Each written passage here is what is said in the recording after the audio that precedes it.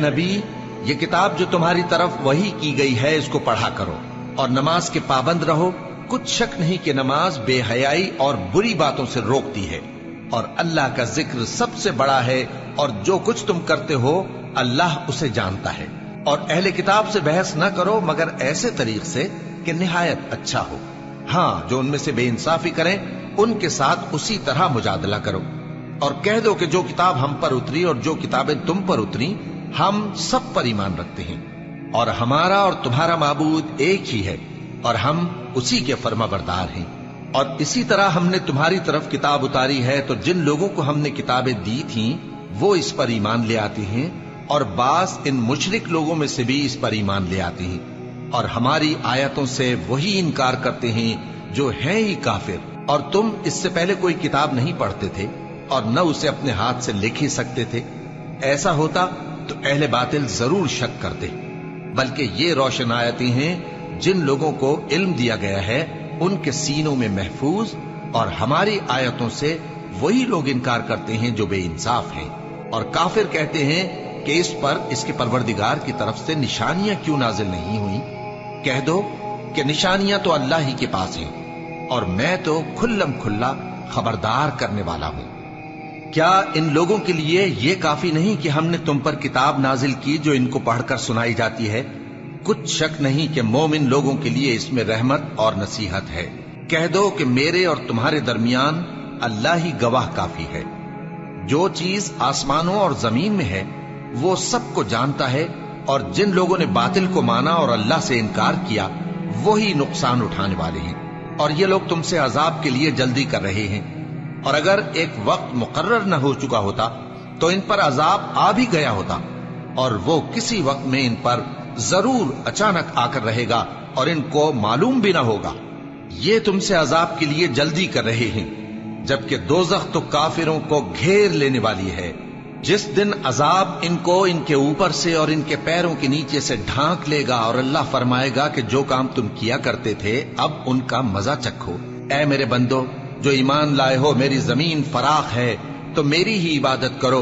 हर शख्स मौत का मज़ा चखने वाला है, फिर तुम हमारी ही तरफ़ लौट कर आओगे।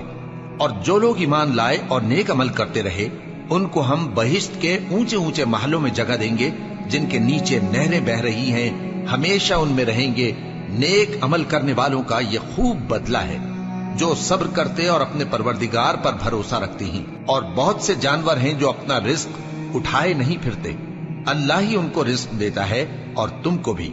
और वो सुनने वाला है, जानने वाला है। और अगर इनसे पूछो कि आसमानों और ज़मीन को किसने पैदा किया, और सूरज और चाँद को किसने तुम्हारे जेर फरमान किया तो कह देंगे, अल्लाह ने। तो फिर ये कहाँ उल्टे जा रहे हैं? अल्लाह ही अपने बंदों में से जिसके लिए चाहता है रोजी फराख कर देता है, और जिसके लिए चाहता है तंग कर देता है। बेशक अल्लाह हर चीज़ से वाकिफ है। और अगर तुम इनसे पूछो कि आसमान से पानी किसने बरसाया, फिर उससे ज़मीन को उसके मरने के बाद किसने ज़िंदा किया तो कह देंगे कि अल्लाह ने। कह दो कि अल्लाह का शुक्र है, लेकिन उनमें अक्सर नहीं समझते। और ये दुनिया की ज़िंदगी तो सिर्फ़ खेल और तमाशा है, और हमेशा की ज़िंदगी का मकाम तो आखिरत का घर है। काश ये लोग समझते। फिर जब ये कश्ती में सवार होते हैं तो अल्लाह को पुकारते खालिस करते हुए उसी के लिए इतात को। लेकिन जब वो इनको नजात देकर खुशकी पर पहुँचा देता है तो झट शिरक करने लग जाते हैं, ताकि जो हमने इनको बख्शा है, उसकी नाशुक्री करें और फ़ायदा उठाएँ। सो खैर करीब इनको मालूम हो जाएगा।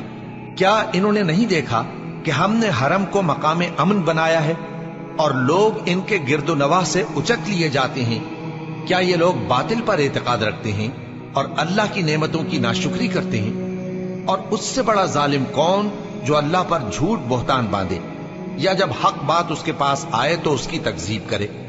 क्या काफिरों का ठिकाना जहन्नम में नहीं है? और जिन लोगों ने हमारे रास्ते में मेहनत की, हम उनको ज़रूर अपने रस्तों पर चला देंगे और अल्लाह तो नेकुकारों के साथ है।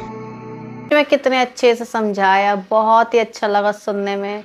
बहुत ही प्यारा लगा सुनने में कि कि जो लोग अल्लाह को नहीं मानते, उनकी बातों को झुटलाते हैं, उनके बातों को झूठा कहते हैं, उनके ऊपर अजाब जल्दी आता है, जो अच्छे रास्ते पे नहीं चलते, बुरे कामों में फंसे रहते हैं, उनके ऊपर अजाब जल्दी आता है, वो अजाब आता उनको सर पूरे शरीर को ढक लेता है और पूरी दुनिया, ये पूरा जहान किसने बनाया है? ऊपर वाले ने ही बनाया फिर क्यों लोग झुटलाते सूरज, चाँद, पहाड़ किसने बनाया, इसको कब तक झुटलाओगे, ये भी तो अल्लाह ताला ने बनाया। लेकिन काफ़ी लोग होते हैं, अल्लाह ताला को नहीं मानते हैं, उनको नहीं पूछते हैं, वो किसी और चीज़ को मानने लगते हैं और फिर उनकी बातों को नकार देते हैं।